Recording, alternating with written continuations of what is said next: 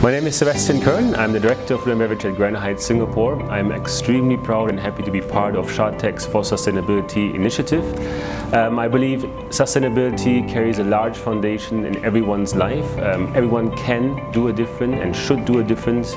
Um, and I think we all should uh, pull along the same string towards one communal goal uh, for a better future for everyone. And I think it's the learning points we provide for the future generation which are quintessential. I think we need to build a very, very solid foundation for them to comprehend, to understand and learn what is sustainability, what it means, what it can actually execute and do for the future generations.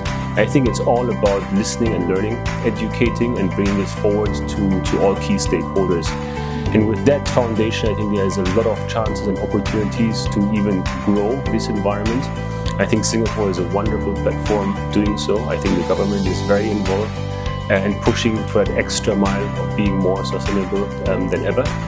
And, uh, and, yeah, I think it's it's a collaboration between all parties, all stakeholders in different industries within Singapore, aligning themselves and pulling kind of the same string towards one goal.